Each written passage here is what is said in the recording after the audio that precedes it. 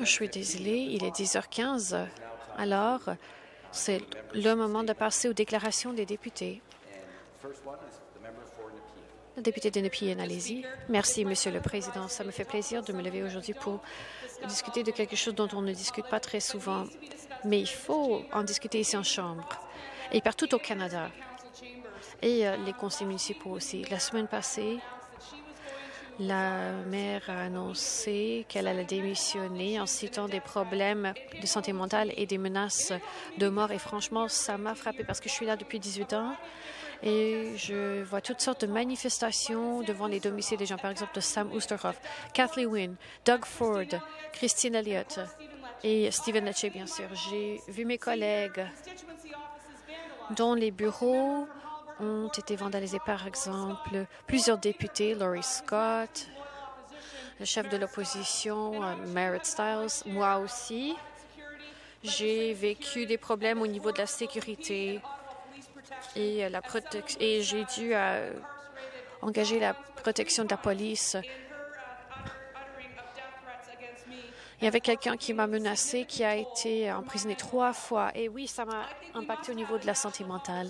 Je pense qu'il faut en discuter. Il faut discuter de la misogynie en politique, la radicalisation en politique et l'influence internationale en politique et comment ça touche la sécurité de tout le monde, des conseils municipaux, des membres du personnel, des députés fédéraux, et euh, tous les autres. J'ai écrit un article là-dessus pour iPolitics et je vais continuer à, à œuvrer pour euh, sensibiliser les gens davantage par rapport à ce problème. Merci beaucoup.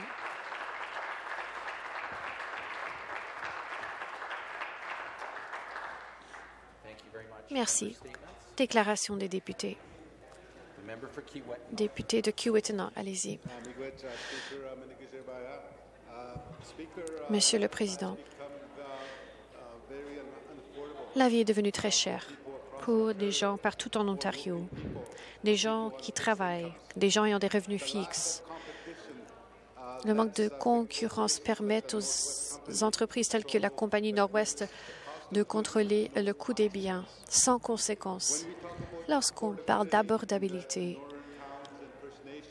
dans les Premières Nations, dans les villes, dans les villages. C'est difficile de comparer ces prix avec le reste de l'Ontario dans ces communautés.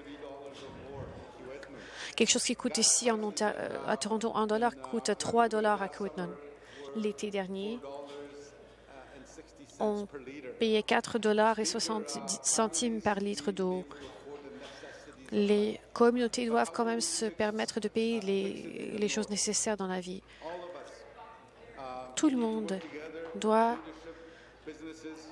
travailler, euh, les députés, les entreprises, les municipalités, tout le monde doit faire en sorte que les gens n'aient pas à choisir entre l'épicerie ou le gaz parce qu'ils ne peuvent pas se permettre de payer les deux. Il faut travailler ensemble pour faire en sorte qu'il y ait de, la, nourriture saine et abordable pour les résidents du Nord de la province. Merci beaucoup, Monsieur le Président.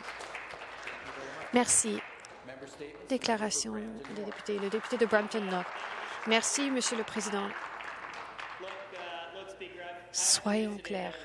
J'ai des nouvelles aujourd'hui qui vont décevoir les gens. Le 1er avril, le gouvernement fédéral libéral va augmenter la taxe sur le carbone. Franchement, j'aimerais bien que ce soit un blague de poisson d'avril, mais ce n'est pas le cas. La taxe sur le carbone rend la vie beaucoup plus chère pour les familles partout au Canada. C'est une taxe euh, qui pèse sur les gens qui euh, conduisent, qui euh, chauffent leur maison, qui achètent de l'épicerie pour leur famille. C'est une taxe qui ne fait rien pour l'environnement parce que pour des collectivités partout au pays, conduire chauffer sa maison et acheter de l'épicerie, ce ne sont pas des, des, luxes, ce sont des choses nécessaires pour la vie. Monsieur le Président, je comprends pourquoi les chercheurs canadiens ont pensé que c'était une bonne idée lorsqu'ils ont euh, inventé cette idée, mais ça n'a pas marché et ça punit les familles qui essaient tout simplement de vivre. Donc, je demande au gouvernement fédéral libéral de ne pas augmenter cette taxe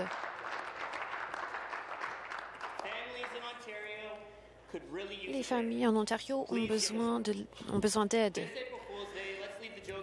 Donc, le 1er avril, laissons les blagues aux enfants et débarrassons-nous de cette taxe ridicule. Merci. Merci. Déclaration des députés, la députée d'Oshawa. Merci, Monsieur le Président. Ed Broadbent a été a- est né à Oshawa. Il, il a été leader. Il était député entre 68 et 90. Il était leader du Parti néo-démocrate et par la suite, il était député de Ottawa-Centre entre 2004 jusqu'à 2006. Il a toujours été bien aimé et respecté, même par les gens qui n'étaient pas d'accord avec sa, ses politiques. Il est décédé le 11 janvier de cette année à l'âge de qua- euh, 87 ans. Ed Broadbent nous montre ce que ça veut dire être Canadien, être champion de, champion de démocratie, de droits de la personne. Il a toujours œuvré pour améliorer la société pour tous les Canadiens. À Oshawa, nous faisons le deuil de cet ami, de ce leader et de ce voisin qui chérissait ses racines. Il a laissé un héritage riche et il va continuer à nous inspirer pour euh, améliorer la société. Lorsque le parc euh, qui porte le nom de Ed a été ouvert, il n'a pas pensé à ses accomplissements, mais plutôt à la communauté et à la valeur euh, de toutes les personnes.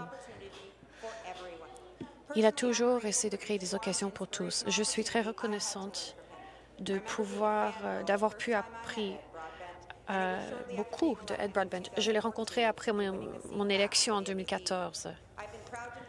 Et je suis fière de vous dire que j'ai pu l'appeler euh, plusieurs fois depuis. Nos condoléances sont avec sa famille. Beaucoup de gens ont apprécié Ed énormément et il nous manque. Je vais continuer à travailler pour réaliser la vision de Ed Broadbent pour la société. Il voulait que le monde soit meilleur et que nous soyons meilleurs. Merci beaucoup, Ed Broadbent. Euh, Vous nous manquez.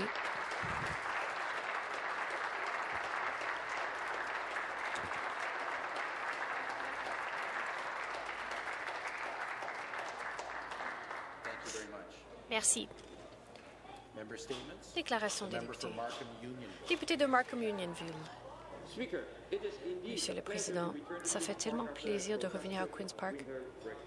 Après la pause de l'hiver et je suis très reconnaissant de partager que j'ai euh, eu des réunions avec des parties prenantes et des commettants à Markham Unionville pendant les fêtes du, euh,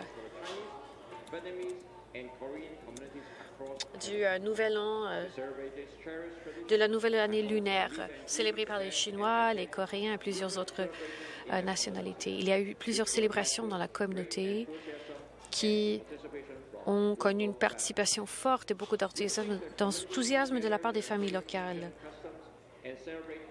On a pu célébrer nos traditions et franchement, ça a réchauffé le cœur.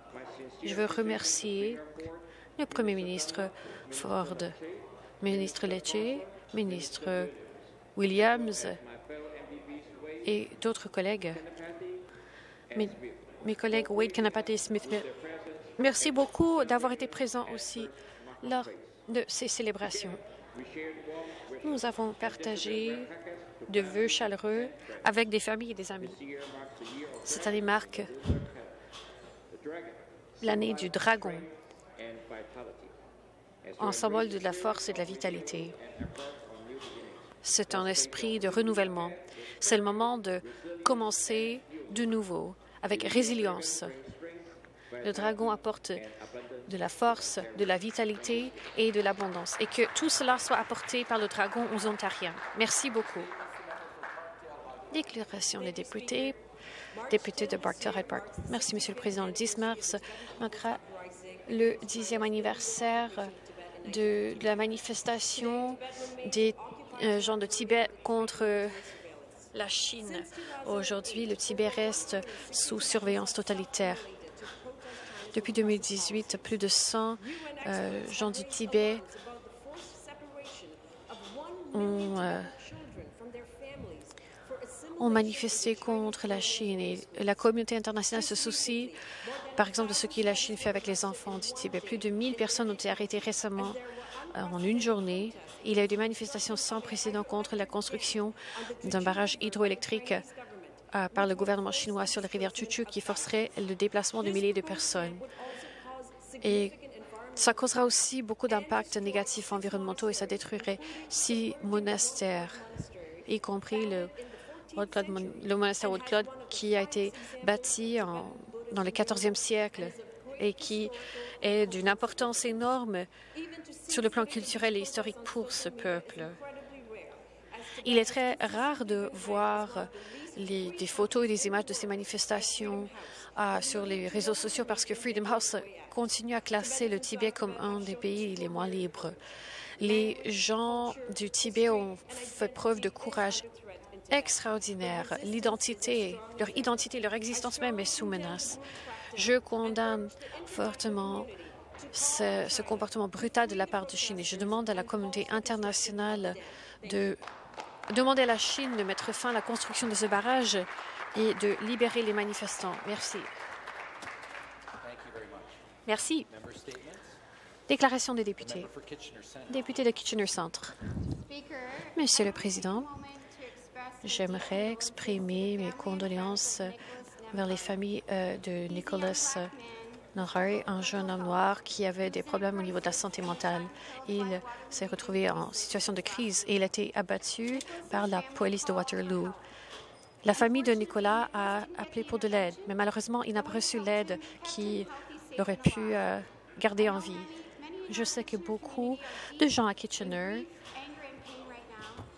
vivent en deuil en ce moment et je partage ce et ce besoin d'obtenir des réponses. Oui, il faut exiger de la redevabilité de la part du processus SIU, mais il faut aussi reconnaître le, plus grand problème qui existe au sein de notre système.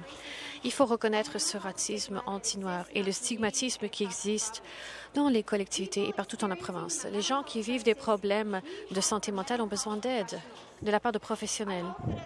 J'espère qu'en tant que leaders provinciaux, nous pouvons tirer des leçons de cette perte terrible et mettre fin à ce cycle de violence.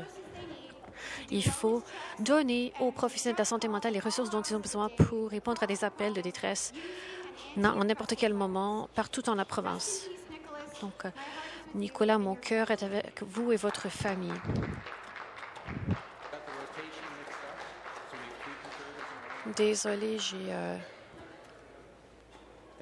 Merci.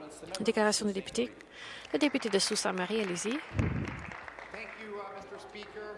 The 61st annual Bonsu Winter Carnival is Inaudible. held February 2nd to February 9th, 2024 in beautiful Sault Ste. Marie, Ontario, Canada.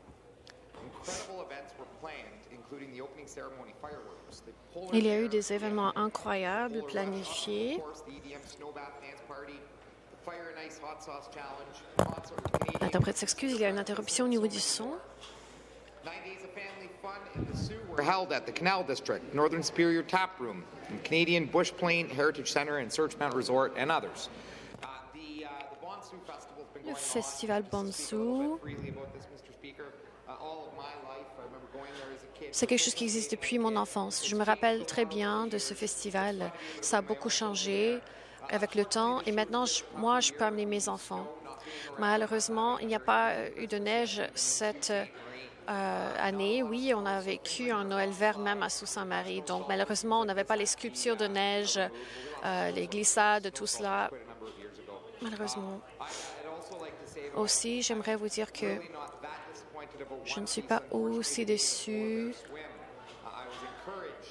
euh, par rapport à la journée euh, euh, de plongée de- d'ours polaires.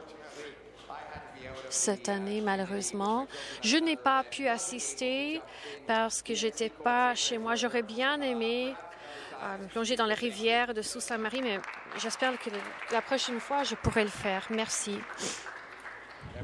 Déclaration de député. Le député de Renfrew. Merci, Monsieur le Président.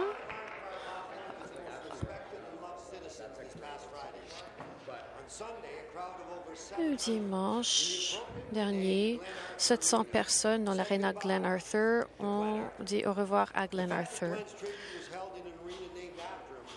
on a célébré Glenn dans euh, l'aréna qui porte son nom et ça montre à quel point la communauté l'apprécie. Il était directeur euh, de loisirs depuis plus de 36 ans. Et pendant tout ce temps, il était euh, dans des chefs de file en loisirs dans sa collectivité. Il était là lorsque j'étais élu il y a 20 ans et la première fois que je l'ai rencontré, je savais que j'étais euh, dans la présence de quelqu'un qui est très spécial, qui a beaucoup de talent, mais qui euh, travaille aussi d'arrache-pied. Glenn a pu euh, faire des miracles, même malgré la bureaucratie euh, du gouvernement pour faire en sorte que Empire ait euh, le financement dont les gens avaient besoin. Il menait à des résultats. Chaque fois que j'interagissais avec Glenn, que ce soit dans sa vie professionnelle ou après sa retraite, je me sentais toujours à quel point nous sommes chanceux de connaître quelqu'un comme Glenn Arthur. Son décès a laissé envie dans la communauté que les gens vont ressentir pendant très longtemps. Donc, nous, euh, nos pensées sont avec sa femme Kathy, ses enfants Aaron, Shane, Amanda et ses familles. Et, et- et même si Glenn n'a pas pu voir euh, les, euh, les Maple Leafs remporter la Coupe Stanley, mais peut-être cette année, ils peuvent quand même le faire. Euh, on- Cher ami, vous allez nous manquer. Thank you very much. Merci. Déclaration de député, député de Flamborough-Glanbrook.